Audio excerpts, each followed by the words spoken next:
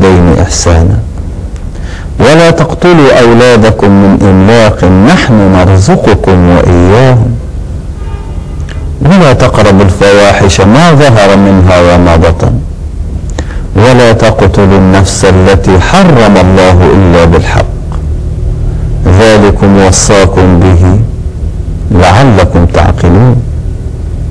ولا تقربوا مال اليتيم إلا بالتي هي أحسن.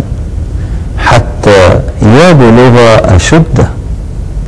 وأوفوا الكيل والميزان بالقسط لا نكلف نفسا إلا وسعها. وإذا قلتم فاعدلوا ولو كان ذا قربى.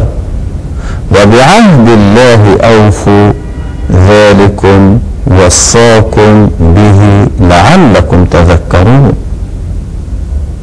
وأن هذا صراطي مستقيما فاتبعوه. ولا تتبعوا السبل فتفرق بكم عن سبيله.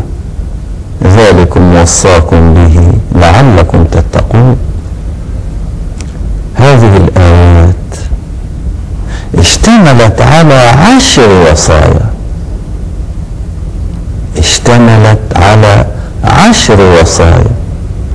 وكل وصية من هذه الوصايا فيها ما فيها.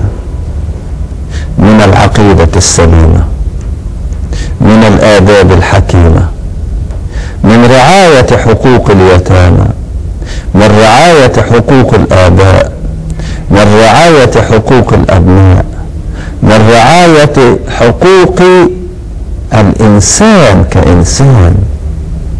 عندما قرأ النبي صلى الله عليه وسلم هذه الآيات على بعض المشركين.